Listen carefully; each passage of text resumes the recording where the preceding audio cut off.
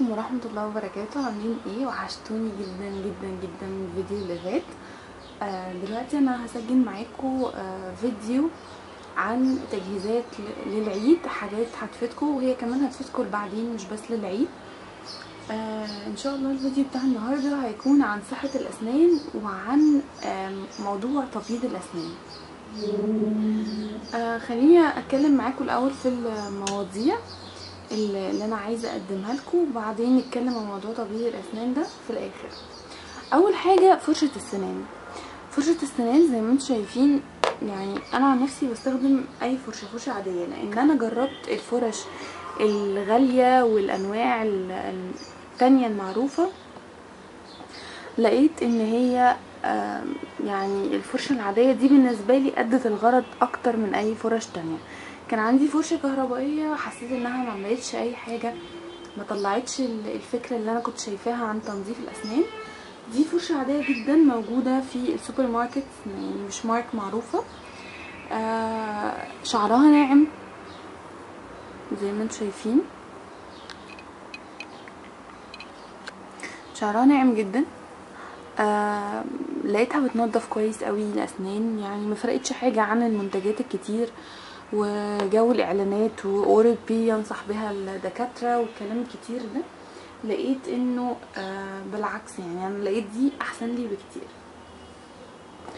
تاني حاجة المعجون السنان. أنا استخدمت تقريبا كل أنواع معجون السنان اللي مكتوب عليها إن هي بتعمل تفتيح للأسنان. بس اكتشفت إن الموضوع ده موضوع تفتيح الأسنان فعلا يعني كدبه كبيرة. ومفيش أي حاجة من موضوع تبييض الأسنان ده حاجة حقيقية بالعكس يعني هو معجون سنان عادي جدا زي اللي اتعودنا عليه من وإحنا صغيرين Signal 2 والحركات دي. آه جربت آه Crest وجربت آه بتاع Close Up وجربت حاجات كتير قوي ولا حاجة منهم. ادت معايا آه تبييض أسنان أو أي حاجة الحاجات دي كلها. بس عموما يعني إيه أحسن واحد أو إيه مش أحسن واحد؟ أنا شايفة إن كل معجون معجون أسنان موجود في السوق شغال يعني يطلع النتيجة اللي إحنا عايزينها وأكتر آه مش عارفة ما حسيتش إن معجون الأسنان بيفرق كتير في موضوع تبييض الأسنان ده خالص. آه كلهم زي بعض بس بينضفوا.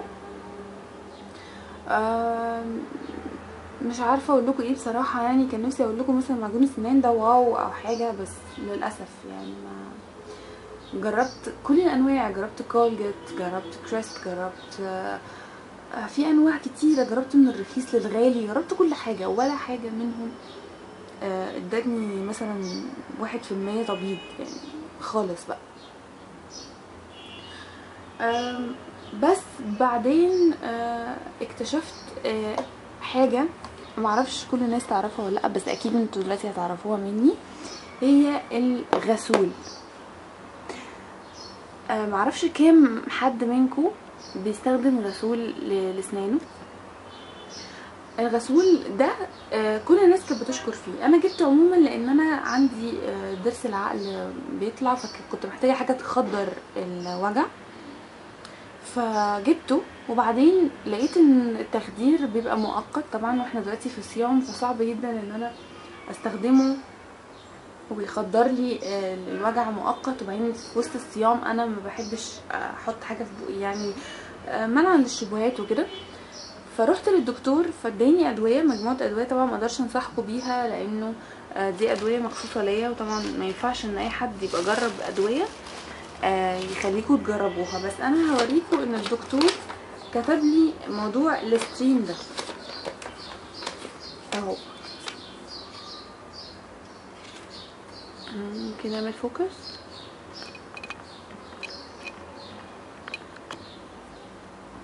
ده نوع Listerine آه قوي جدا. مهمته إن هو يشيل آه، الجير اللي على الأسنان. عموما أنا هكتب لكم الاسم على الشاشة زي ما أنتم شايفينه كده. ده نوع أنا جبته كده من غير ما دكاترة أو حاجة. آه والنوع التاني اللي هو قال لي عليه إن شاء الله هجيبه أول ما أخلص ده. نوع السترين ده هو غالي شوية هو بحاجة وخمسين جنيه. بس ممكن آه في نوع تاني أرخص شوية حوالي ب 15 جنيه بس أنا ما أقدرش أقول لكم إن هو كويس ولا لأ. بس ده كويس. طب ليسترين يعني ليه ممكن أجيبه؟ أو ليه ممكن أجيب غسول عموما؟ الغسول ده من أول أسبوع تقريبا استخدامي ليه. بدأت آخد بالي إن فعلا في آه طبقات جيرية بدأت تختفي من على أسناني. أسناني بدأت تنور في فرق بين إن هي تنور وإن هي تبيض. فعلا الأسنان بدأت تنور وكمان ريحة ال- البق اختلفت. آه لما بنضف بفرشة السنان أحيانا في أماكن كده ما بنروحلهاش بفرشة السنان. فالغسول جدا بيخش لأن أنتي بتتمضمضي وبتبدأي ترجي ال- الغسول ده جوه أسنانك. فبينضفها كويس جدا. آه انبسطت بيه. آه، انبسطت من تجربتي ليه. يعني بصوا استخدامي ليه. أنا مستخدمة يعني حبة حلوين يعني. خليني أشرح لكم طريقة الاستخدام لأنه أنا في الأول كنت بستخدمه بطريقة غلط وعرفت بعدين لما رحت الدكتور يعني بعد يومين من استخدامي ليه الطريقة الصح. هو مكتوب عليه هنا إن أنتوا بتستخدموه مرة الصبح مرة بالليل. طبعا ده في غير الصيام. آه بعد ما تستخدموا فرشة السنان أنا كنت بستخدمه عادي كده يعني مش لازم أغسل سناني. الدكتور أكد لي إنه لازم تكوني منضفه سنانك كويس جدا بالفرشة والمعجون وبعدين تستخدمي الغسول. بعد كده تاخدي مقدار أربع معالق صغيرة. لو انت مش عارفة مقدار أربع معالق صغيرة قد إيه فانت ممكن تستخدمي الغطا بتاع آه، العلبة وهو تقريبا العشرين ملي يعني هما تقريبا دول العشرين ملي معلش عشان آه طريقة فتحته إن أنتوا بتضغطوا على ال- الغطا نفسه وبعدين تلفوها فتتفتح كده. طبعا كنت بعاني في الأول عشان أفتحها. تقريبا الغطا هو العشرين ملي فتقدروا تستخدموها كده. هتاخديها وبعدين تبدأي تمضمضي مبدئيا معرفش كل الأنواع ولا لأ بس النوع ده حرق جدا لأن هو بالنعناع فممكن تبقي مش قادرة تستحملي على لسانك بس حاولي تستحملي لمدة 30 ثانية. 30 ثانية بالظبط على أسنانك آه وهتلاقي بعد كده آه راحة يعني لو عندك أي وجع في اللثة في, في الأسنان في العصب أو حاجة هتحسي إن هو متخدر.